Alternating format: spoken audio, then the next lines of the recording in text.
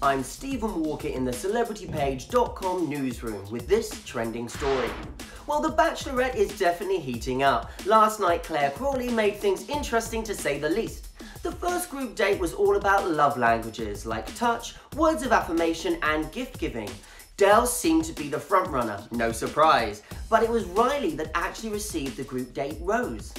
Moving on to the second date, things got a little spicier. Clare asked the men to play strip dodgeball. The winner won a date with Clare and the losers lost their clothes and dignity. But even a loss couldn't keep Blake M away from Clare.